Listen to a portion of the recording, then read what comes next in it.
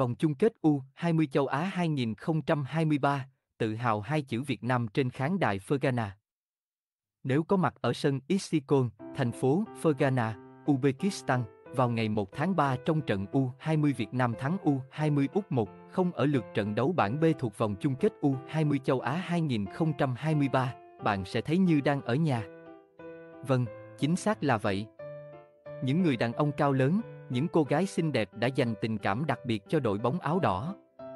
Họ hô vang hai chữ Việt Nam suốt trận. Thật tuyệt! Có 9 cổ động viên Việt Nam trên khán đài Isicon chiều ngày 1 tháng 3 cổ vũ cho đội tuyển U20 Việt Nam. 8 người mặc áo đỏ sao vàng là công dân Việt Nam sinh sống ở Uzbekistan.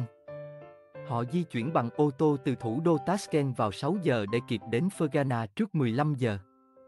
Người còn lại di chuyển bằng máy bay 6.000 km trong gần 2 ngày, từ Nhật Bản sang Tây Á cổ vũ cho huấn luyện viên Hoàng Anh Tuấn và các học trò, đó là anh Ngô Thanh Tùng. Khản cổ đến mức không nói được, ban đầu tôi còn nghĩ chỉ có một mình tôi, anh Tùng chia sẻ như vậy sau khi trận đấu kết thúc. Tinh thần Việt Nam thật đẹp. Trên khán đài thì hai chữ Việt Nam thiên liêng đã tỏa sáng lấp lánh. Sau trận đấu, huấn luyện viên Hoàng Anh Tuấn đầy xúc động khi nói lời cảm ơn dành cho cố động viên trong nước ủng hộ đội qua TV, cho các khán giả Việt Nam trên khán đài và tất nhiên là cho cả khoảng 3.000 người Uzbekistan tại Istikon chiều 1. 3. Huấn luyện viên Hoàng Anh Tuấn nhận xét rằng, U20 Việt Nam bị đánh giá thấp hơn về chuyên môn nhưng lại thi đấu quả cảm về tinh thần và kỷ luật về chiến thuật, từ đó chinh phục thiện cảm của cố động viên nước bạn Uzbekistan. Âu cũng là cách giải thích thỏa đáng. Nhưng ở một phương diện nào đó, rất khó tìm câu trả lời cho tình cảm dạt dào mà người Uzbekistan dành cho đội bóng áo đỏ. Chỉ có thể nói theo cách đơn giản nhất, đó là vì người Uzbekistan yêu quý Việt Nam.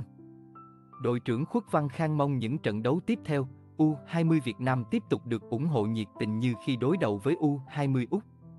Có lẽ, ngoài chủ nhà Uzbekistan, U20 Việt Nam là đội có lực lượng cố động viên hùng hậu nhất tại vòng chung kết U20 châu Á. Cảm ơn các bạn đã theo dõi tin tức bóng đá 24 giờ New. Đừng quên đăng ký kênh và bấm chuông để nhận thông tin mới nhất nhé các bạn.